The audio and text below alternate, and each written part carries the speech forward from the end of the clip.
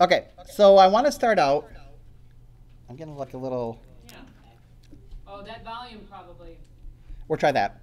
So I want to uh, start out by showing you Ripon's website, and on here, I gave you one of the handouts we have, but I want to show you another um, where you can find more. So technical guides, and in here I have these tech lines I call them, and they have them on all different things. The one you have is about font restrictions. I also have ones on um, getting it right right from the start which I've showed before, but it never hurts to show it again. Um, if you talk to our job planning department, they look at every job that comes in. They tell me I can't show this enough. So, setting up your document for the right trim size. So what you know, what are you going to print? What size? So getting that right. Bleed. Is it saddle stitched or perfect bound? Um, talks about facing pages. This talks about you know, what kind of bleed do you have? What kind of margins do you like to see? Um, how about if I three hole drill? You know, can you give me a template that has the three hole drills so I make sure none of my images or copy get drilled through? Um, so we, we have these templates for all the different sizes we print, all the common ones that we can send you. And talks about um, swatches. Sometimes we see um, PDFs come in with, you know, 16 spot colors and we know they're only printing 4 over 4. When you delete spot colors that are not being used, it's normally not an issue. You can run into transparency issues where if a spot color is uh, underneath the drop shadow and you delete, you know, and change it to process. So anyway, there's there's reasons why you don't want to submit it with unnecessary inks. Um, so I got all these different, looking at separations. When I turn off the black plate, if my type is black, does it go away? or is it four color black? Um, if it's really small type, you do not want it four color black because we can't register it. And so these are just a lot of little tips we learned over the years. Fonts, are they missing? Can they not be embedded? My links panel. Um, I know Lori is kind of half joking when she said I'm missing a bunch of links and right now it's fine for demo, which it is. Um, but when but we get people that are missing links and they send us their files, yes, we can output them, but you're not going to like it because it's going to be low res. It's going to be a basically 72 DPI. So you're going to want to make sure all your links are not only updated, but none of them are modified or missing. If they're modified and we click update, sometimes things move or whatever. So, so I go through that, um, and then you can see like resolution and color space. Um, by changing the, your links panel has some options to see all that. So anyway, we have a, a variety of um, tech lines on our website that go through how do I make a PDF to kind of a quick review for a lot of us on making sure my documents set up correctly and kind of everything in between. So, okay. So I'm going to go back to the Finder. And if I hold down my Option key as I choose um, Go, and I hit Go, and right in here, when I get my option, see how library pops up? If I don't hold down my option, it doesn't. So in there, I have a fonts folder. So these are all my fonts. You know, as a user, I'm logged in that I would see. And if I hold down my command key, and I'm not giving you the Windows equivalent like you did because there's no equivalent. Um, in this case, this is the macOS Finder, of course, running High Sierra. So if you go to Mojave, which came out on the 24th of uh, last month, which I haven't done yet. I used to do it, but not right before user groups. I learned my lesson. So, because uh, then the Creative Cloud, something might not work right. That happened last year. So, um, and then Adobe fixed it, but it was like a month after user group. So I'm like, your timing could have been a little quicker. So I'm running High Sierra, which is until Mojave came out, the latest release. The reason I mentioned that is with Mojave, which is the latest free release of Mac OS, if you install it, your fonts will vary slightly. There's some more San Francisco fonts that Apple included in the latest release that weren't there before. So, so if I'm showing you stuff that doesn't look exactly like yours, you might be running a different OS. But this is the latest up until Mojave. So I click on the top and it tells me my path. So this is one of like, there's really five different locations where fonts could be on your hard drive. Three of them are where people are going to find them typically. Um, this one is in your personal library fonts folder. I don't use a font management program, so some people use Suitcase or Font Explorer or Font Book. I don't use fonts where I'm changing them in and out every single day. So I throw them into this folder, and then if that changes, and then I sync them through Typekit as well, which you're not going to see them here.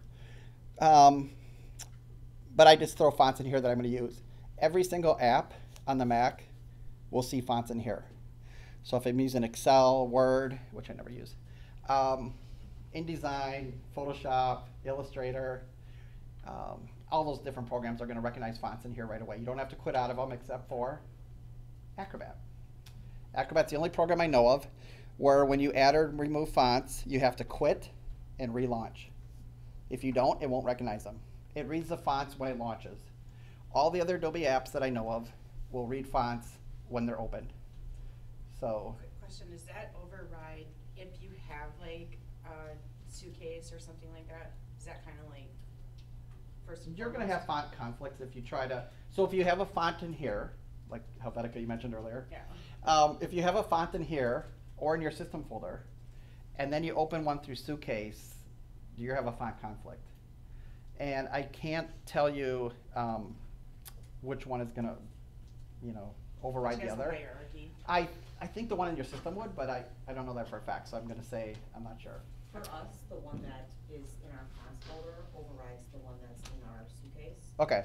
Just, I don't know if that's random or if that's, And that might be the way, that, that's my um, understanding, but since I haven't tested it, but if you, if, if that's what it, how it works, again, since I don't use Suitcase, I, I can't tell you from experience. That's the, um, what I ran into, but if Tammy's saying, Tammy works at the Ripon newspaper, so if you're saying, we have to have our fonts separate out of suitcase to work with our program that we use for our classifieds and our AdWorks and Flow programs. okay, And so that's where they are. So whenever we use those same fonts out of suitcase, they kinda don't like us. okay. So yeah, it's good to know. So font conflicts, you know, are, uh, you know, can be a real headache. You gotta kind of track them down. So the fonts you're seeing here, you know, open type, true type, um, are typically the two formats. Um, D fonts, which are Apple, they're they're really uh, true type fonts.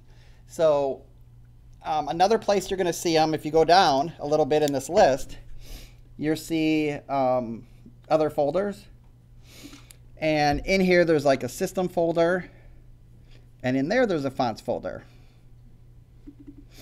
So a lot of fonts in here are installed by the OS. And it used to be a long time ago, you could go in here and be a little aggressive and delete those fonts. You know, you select a bunch, you're like, I don't think these are needed. I surely don't use them. And you select them, it'd say enter your uh, administrator password, and then the fonts would be gone. No problems until you restart your computer and you get a flashing question mark. Uh, because in the past, Apple would let you delete fonts it required to show menus and other things. Now they have what they call protected fonts for the OS that if you delete them too aggressively, it reinstalls them. So if anybody's running a more recent OS, that's what happens. Um, but you got you know, there's a lot of fonts. I don't go in here and mess around too much because I found um, like iTunes and you know things that come with the Mac, uh. They may use fonts that I never use, but it doesn't mean the Mac OS doesn't use it. So you gotta be a little careful in this folder. Uh, unless it's not your computer. Then, no, I'm just kidding. so then um, we have library. This is where it gets. I don't know why they did it like this, but look what I have in my library fonts folder. You know, so there's again several places. So how do you know? It's like I got all these fonts in here. How would I know where they are? So one little tip that I do is I go into InDesign and did it just crash on me? Yes, it did. Because all of a sudden it disappeared. I haven't had InDesign crash in a long time. So let's get that back up. And we're, I'll show you how I.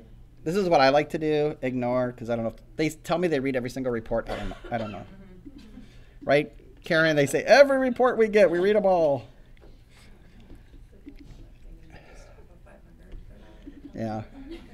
The guy, the engineer I talked to, it CreativePro, he's like, yeah, we actually do. I know that's what they for- have them in things so we can search for, for certain stuff to see how many times it has happened. put it like when it says add comments, put like some joke in there and see if they like get in. That's a great idea. Like, Yeah. okay, um, so so in InDesign, I'm gonna go to my just create a text frame and type um, fall, select it, and then pick one font. Let's say I pick a font that I'm not sure exactly where it is. So this one. And then I go to type, find font. And in here, I'm going to click on there and say reveal in Finder. And then it tells me when I hold down my command key where it's pulling that font from. So that that's when I start seeing fonts um, that I don't know where they're coming from. I'm like, I'm not sure if I'm still using that one. Where is it even if I want to get rid of it? So now I know where, where it is on my hard drive. So reveal in Finder. So if you get a chance to clean up some of your fonts, it really helps because fonts are loaded into RAM. Every so you don't want like a big huge list of hundreds or thousands of fonts if you're not using them because they can they do cause issues. Can you delete them out of that library? Yes. Okay. But what I do, to go one step further, so I create another folder. It's called removed from original location. Mm-hmm. And then in that folder, I put down a folder saying removed from library. And I throw all the fonts in there, and I don't delete them right away off my hard drive. I wait a couple weeks to make sure I didn't do something wrong. So I go into my removed from original location folder, and then I have a couple folders in there. And if after a few weeks or a month I'm having no font issues, then I can either throw them out or just save them for later use. But you can remove them out of there. Yep. And some fonts you won't be able to, but those are the system fonts that Apple requires. So there are some fonts that Adobe requires, but they're in an application support folder called protected fonts that you can't delete anyway. So you don't have to worry about that too much. And every time I say that, I got to make one little asterisk. If you're not using a current version, so that wasn't always the case. So is anybody using like CS6? Okay. So if you, so when I say stuff like this, I got to say it. if you're on Creative Cloud, um, then what I'm saying would apply. If you're, somebody says, well, I'm using CS4 and I don't have that same font protection, it wasn't always there. And so just um, if you're using the current apps, you know, then you have that. So, uh, okay. So, so different font locations, and I'm just want to reference this to make sure I'm not missing anything.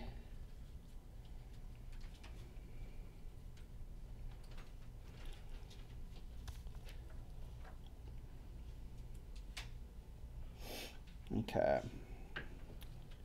So now the next thing I want to talk about is embedding fonts. And uh, like I said, almost every font is going to be embeddable. Very few will you be able to not embed. But there's one that we ran into and I'll just leave it like that. It's called Casual Joe. And a customer of ours used this. And when I go under Find Font and I click on this and I say um, More Info, you'll see right down here, and I'll just zoom in so we can see this very clearly, cannot embed in a PDF. And they're not kidding because we got the file in, the font was not embedded in the PDF, and it looked like um, Times or something totally different than what it's supposed to. So, and of course they say, well, in their system it looks great. I'm like, that's because you have the font open, so it would. But when you hand it off to anybody um, else who doesn't have that font, it's not going to look good. So, not everybody's going to, you know, look at every single font and see this. But your pre-flight settings, especially the ones we use at Ripon, that they will tell you. When you export this as a PDF, it comes up in the background task uh, and says font cannot be embedded. But if you don't have the background task opened, um, it won't come up till the very end, and you might miss it. You could be like, I'm making a PDF and I moved on to something else, or I went to get some coffee, or that dialog box pops up, and you might not see it. So, but do you guys know what I'm talking about? So if I say done and I go over window, utilities, and I go background task, if this is not up, background task happen where? In the background. So you're not going to see a message until the very end. So I like to leave this open if I'm having any issues or think I might. Because this told me this morning when I'm exporting SVG fonts that my PDF wasn't exporting. And so sometimes this will give you some good information why. And so if I export this now, this should be an error. And I'm going to use, uh, I'll just use our Ripon settings here. I would say export. And now if I go back to InDesign, export, uh, see the error here? And it's telling me, but see how easy that was to miss? Because it opened up Acrobat real quick. And so, so that's one way to know is look in that find font, check the pre-flight, and then, but how would I know in Acrobat? So if I go to Acrobat and I go under File, Properties, and I click on Font, see where Helvetica is embedded? And that is um, there because it has like, you know, the date and time and the name of the file. So that's why you're like, well, you didn't use Helvetica. Well, that's why that's there. But the one above it, see where it says nothing after the font? It's not embedded. It's not embedded subset. So I know that's a problem. There's also a built-in pre-flight in Acrobat where I can say, are there any embedded font issues? And if I click on that, it will tell me that there are. So there's a couple different ways to check. And because everybody raised their hand saying they use fonts, this is you know something you want to be aware of. What's the difference between embedded subset and embedded? There's, there's a difference and you'll see both of them. Anybody have a guess? Somebody I know probably knows.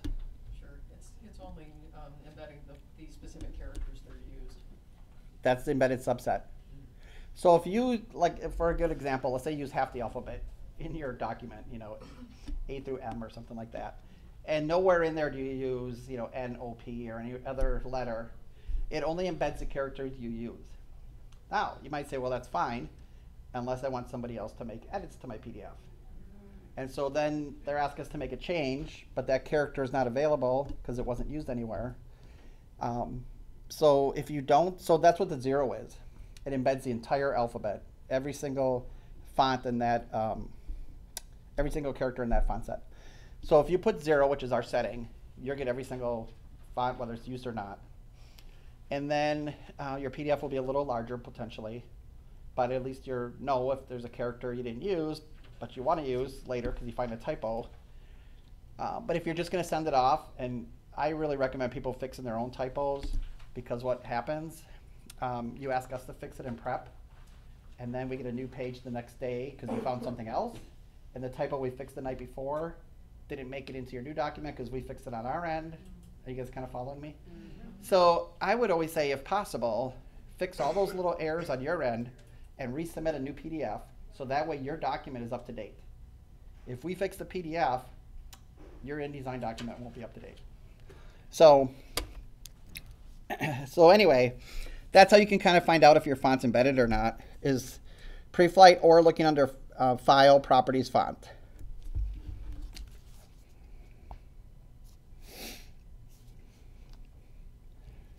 And this is kind of annoying that my iPad keeps falling asleep. Okay, so we looked at embedded fonts.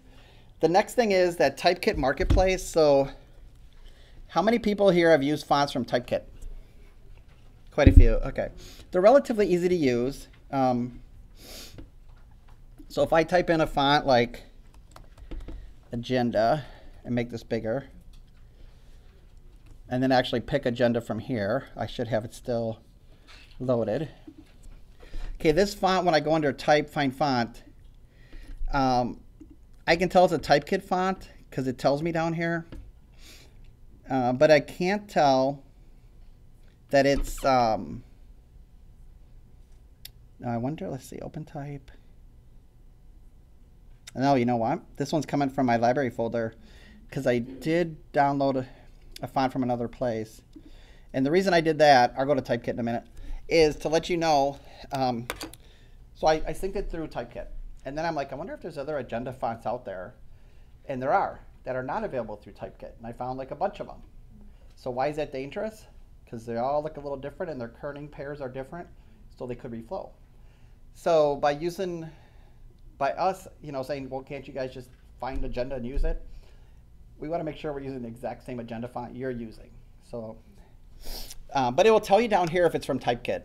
And now that I see it came from my library folder, this is probably the one I found outside of Typekit, downloaded to see um, if there's any differences, and there were in the two fonts. If they looked exactly the same, I'd be like, well, why are we paying for it on Typekit when it looks the same? Because this one I downloaded for free, but they look they look different. So anyway, I think one of the easiest ways to get the Typekit is you come up here and you say Add fonts from Typekit, or you can go to typekit.com, or I can go to my Creative Cloud icon and click on Assets, and I can see all the fonts that I sync through Typekit, and I can manage my fonts through Typekit here as well. And it'll tell me, okay, here's the fonts I synced. I can manage them, I can unsync them, I can sync new ones. I can find that one called Agenda that I'm talking about. And when I find it, I see something kind of unique, relatively new, called Marketplace. And what that means is I have a little shopping cart icon next to them. So it says you can download this font, sync it, and use it. Or I shouldn't say download. Um, you can sync this font and use it on your computer, but you can't package it, and you have to purchase it. Once you purchase it, can you package it then? Now it, you can't package Typekit. Who asked the question? I- Okay, I just That's didn't want. why I, I kinda stay away from Typekit. Yeah, you can't package any Typekit fonts, purchased or not. And so that's the disadvantage. The one advantage is I find um, it's an easy one place to go to for all your fonts, you know, one source. But because you can't package them, um, you know, some some people like yourself, you're not the only one who probably says that. Where, well, if I can't package them, then I don't want to buy them. And Adobe, I talked to the Typekit team about this pretty extensively before they launched. And I said, um, people, if they can't package the fonts to go back to a job from like two years ago, how are they going to be confident that font will still be available through Typekit and all that? And they said, well, if they don't have a Typekit account, which is part of Creative Cloud, then they can't open up their InDesign file to open up the file that's missing the font. And I'm like, true, but are you guaranteeing us that every font you have on there today will always be on there forever? And because if it's not, and the only place you can get it is Typekit, then you can't, you know, then your document's no good. So I'm, I'm very much on board with if I can't download it or package it, um, you know, then it's then it's a problem. So anyway, so marketplace is some people would argue is a really cool way to have one stop shopping for all your fonts, whether you sync them for free or you have to buy them. Um, you know, but again, if you sync them and you hand off a native InDesign file to somebody, because you can't package them, it's going to be a problem. So, so that is marketplace. Neat idea, um, but there is some shortcomings I feel in there. So So if you make a PDF, it will embed it. you can, you can print a PDF. Right. Anybody can, but you just can't open it up in InDesign. So the right. So the um, so if they submit a native file, and they send us all their links and their document, but they and they send us all the fonts that are not synced through Typekit, but they have fonts that are synced through Typekit, we can't open it and use it. I mean, we could open it, but but if they they will be embedded in a PDF.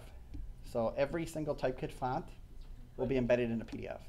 So, If you've got Typekit, wouldn't you be resyncing to the same font? But- took off of Typekit? Only if it's purchased. but if it's purchased, then we would have to purchase it. And if they didn't purchase it, you could sync it. Yeah, if they didn't purchase it, then we do sync off Typekit. So there's only a disadvantage of purchasing, because you can't package it anyway. Right. And you can use it without purchasing it. Right. You've got Typekit. But some people find there's some fonts simply not available for.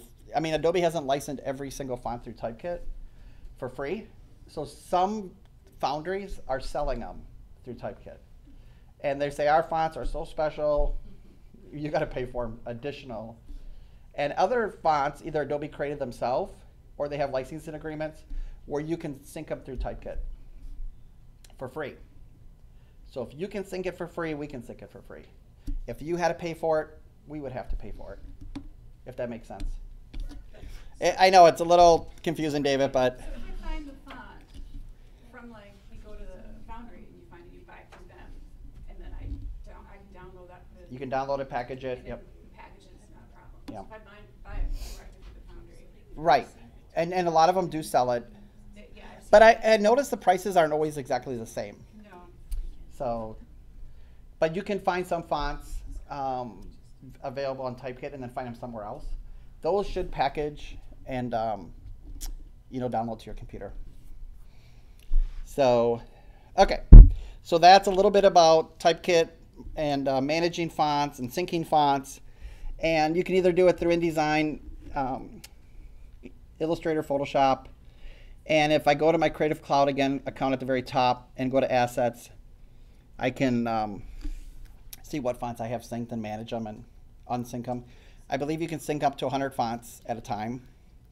And so my account says 100. I, I don't know if there's different accounts that would have different amounts, but um, I probably wouldn't sync more than 100 fonts at a time anyway, most likely. But um, if I want to have more fonts than that, I just unsync a few and I can then sync more, if that makes sense. So, okay. Now I want to turn to Illustrator. And these are called SVG, Scalable Vector Graphics Color Fonts. And I go to my glyphs panel and I pick one that I know is a color font, Apple Color Emoji. That was developed for, what do you think? Initially. Phones, right? People want to send messages with smiley faces and all sorts of silly stuff. And so you have all these different emojis in here. Somebody's not happy. Um, get rid of that. Okay. So all these different emojis you can use. You can create outlines with them and you can scale them up. They are, you know, fonts. Right now, Illustrator and Photoshop fully support these um, color SVG fonts. InDesign, I believe, will support it. And so, um, so that's you know going to be nice. So they become more popular. So where do you find them? Typekit has them. You can just search websites. Um, there's some really good websites out there. If you just search for SVG color fonts, you'll find a bunch. And I'll show you a few more. And I like the glyphs panel because then I can see what they look like. So if I go down to like, um, let's see, color tube, and I can start typing. That's kind of a, you know, a different font. Another one is called Popsky. And that is, okay, this one's in color, but the funny thing is right now it's not. Let's just see. I have this, I've used this extensively. So this one is a color font. In fact, I demoed it last year at our user group. And um, so it's been around for a while. They started coming out with color fonts in the um, in early 2016. So they're not brand new, but programs are just starting to embrace them. Mac OS supports color fonts. Windows 10 supports color fonts, and pretty soon the entire Creative Suite will as well. And so they're kind of cool. This one, obviously, there's some issue that's causing it to be black and white. And if I wasn't pressed for time, I'd try to troubleshoot and see what's going on. But there's um, lots of different color fonts. I just showed you a few. And the next thing I want to talk about is variable fonts. So, how do I know if a font is variable or not? So, when you look at the font, and let me go to my character panel, and in here, let me zoom in so you can see this. So, we're seeing variable fonts. Do you guys see that VAR? Okay, that's a variable font. We'll try it. There's some really weird names. So if it's variable, what does that mean? Let me just go down again. It means you get a little icon over here. Do you guys see that in my character panel? So over on the right, I click on that, and I get another choice to change it. So you can change, I'm going to call this tracking, basically. They call it width. Um, but that I think we would refer to that as tracking. And then this is going to be the face, whether it's bolder or really thin or something in between. And then you can make it, you say, hey, there's no italic version available. There is now. Um, and so this is kind of cool. But the thing I haven't figured out 100% yet is I'm almost positive, but I just haven't taken the time to figure it out. I go through all the work and I get this font to look perfect, in my opinion. You know, how do I make a character style or paragraph style to capture all those settings I just used? So I I don't think it's possible at this point, um, and I haven't tried it, but I'm almost positive it's not. And so this would be good that you know for like headings and small type. I don't know if I'd necessarily do paragraph after paragraph of this yet, because if these settings um, become available in a future version, where you can actually go in and create a character or paragraph style and adjust them, so then everywhere you use it, it's applied. Then it would make more sense. But it's very cool right now to have one font and have all these different weights to it and uh, tracking, you know, because you're changing this word spacing. So variable fonts, if it's not a variable font, you will not see that little icon over here. So let me move this over. So if it's not a variable font, you won't see this. So if you pick something, you might, you know, it's not a variable font, you'll know right away because you won't even have the option. And if it is a variable font, they're all open type. So you'll see O with a VAR for variable.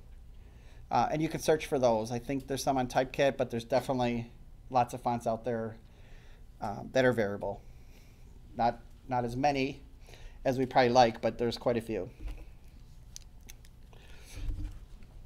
and let me just make sure. Um, open type variable fonts. Okay, so I like to look at websites and see what fonts they're using. And one I was looking at, I was like, I wonder what. I mean, there's so many sites out there, of course. But one I was looking at on Apple, I was like, I wonder what font they use. So I click on this Font Ninja. You guys see this up at the top of my screen? This little ninja guy, I guess. I don't know what that is.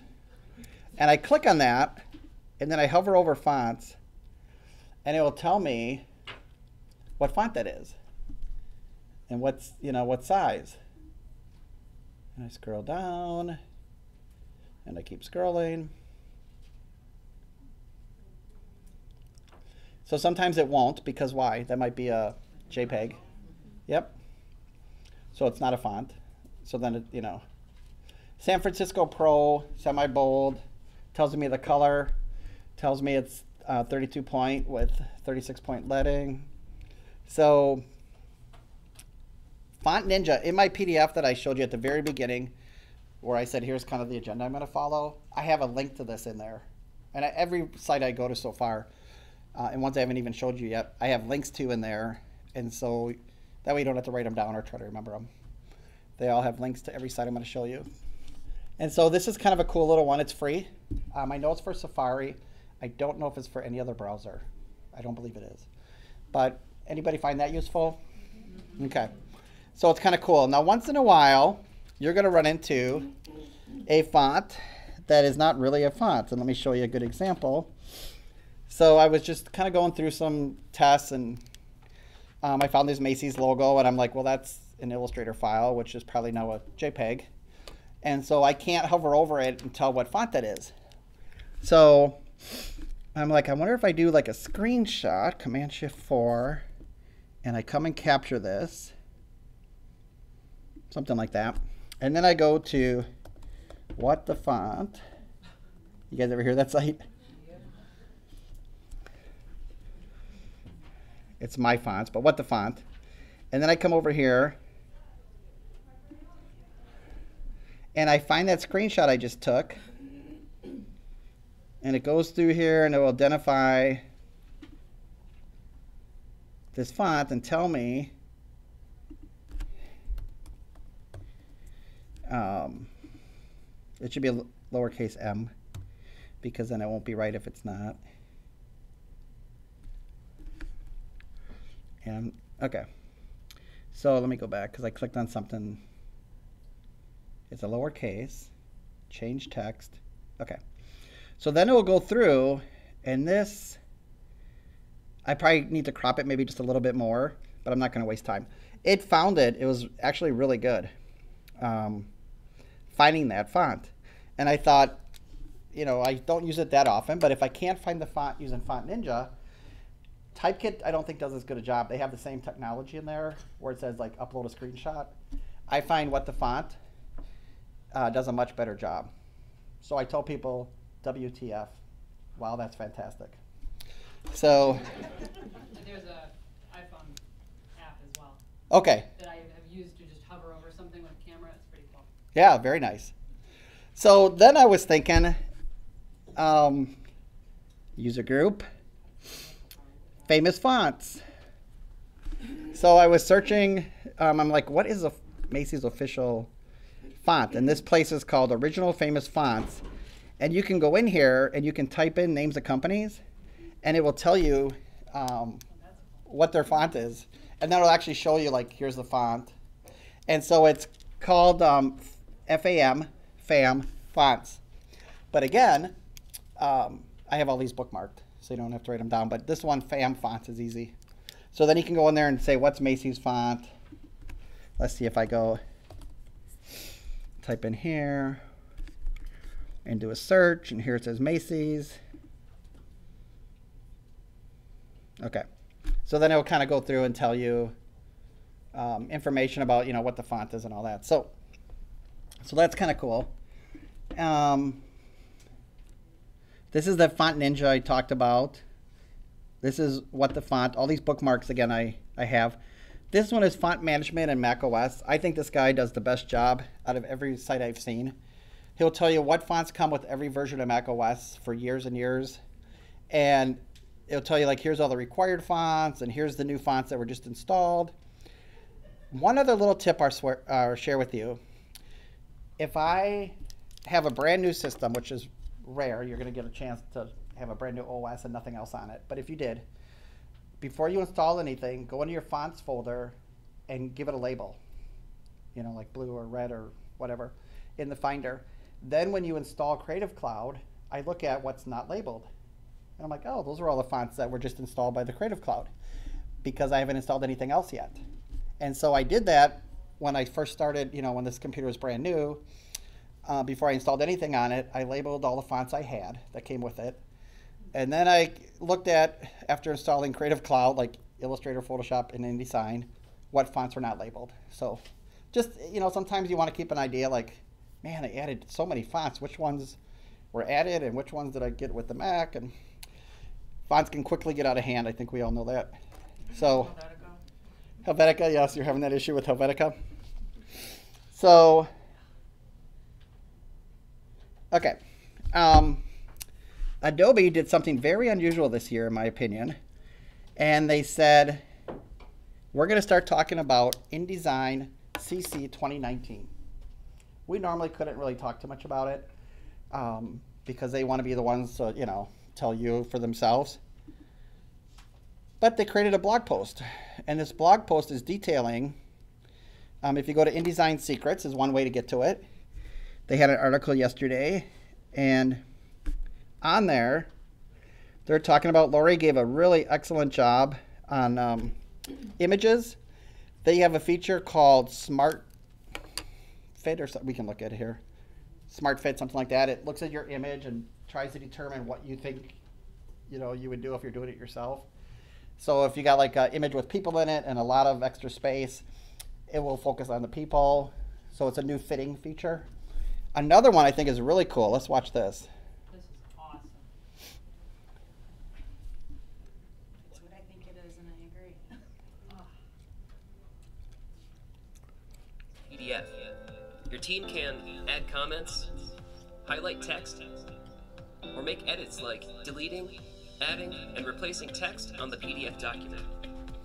Once you've gathered all the comments and edits, simply import the PDF back into InDesign to see all the markups. Now you can see all the feedback within InDesign.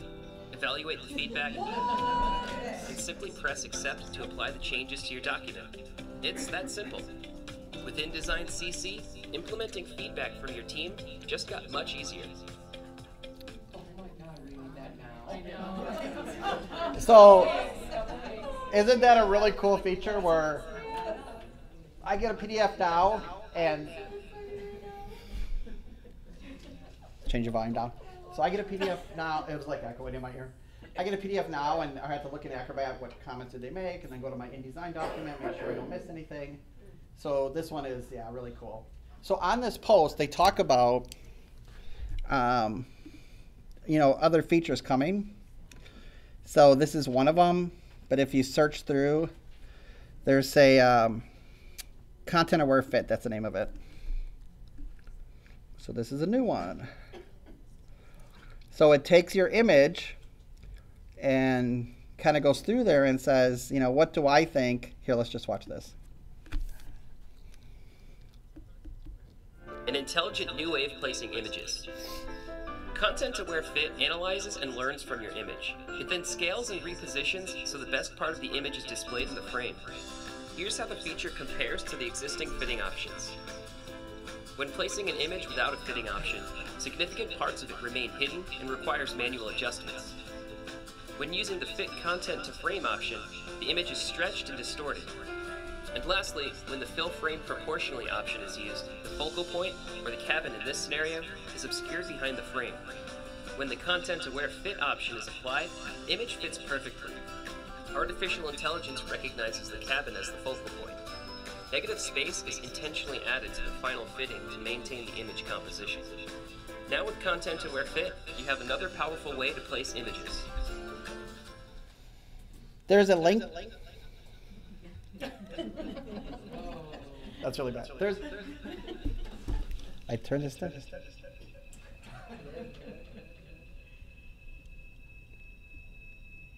you Okay. notice the properties panel? Yes.